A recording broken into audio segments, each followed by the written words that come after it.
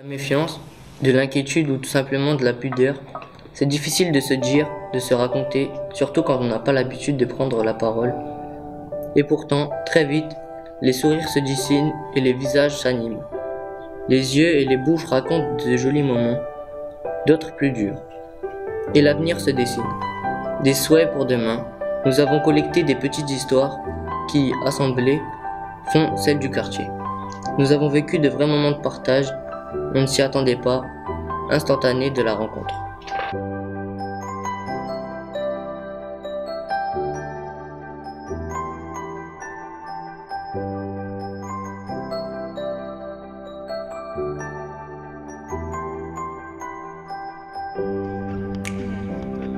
On dit.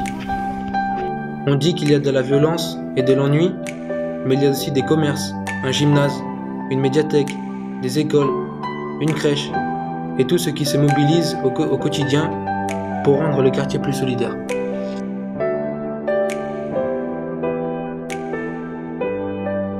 Ça fait combien de temps que vous vivez ici 12 ans. 12 ans.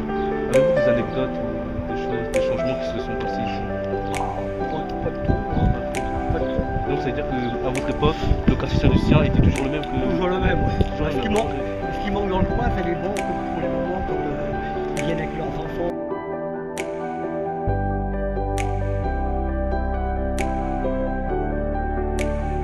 Pourrait penser que c'est triste de vivre dans un quartier planté de grandes barres grises.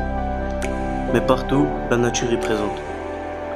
Dans le moindre interstice de béton, du gris, du vert et le murmure de l'eau qui nous accompagne.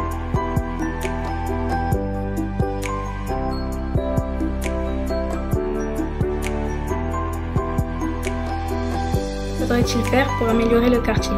Le problème de la propreté revient inlassablement. Déjections canines, poubelles éventrées, détritus dans la rue, que faire? Sentiment de fatigue et d'impuissance qui nous tombent dessus, nous aussi. Que manque-t-il au quartier? Les transports, ça va, et les commerces aussi. De quoi occuper les jeunes? Voilà ce qui manque.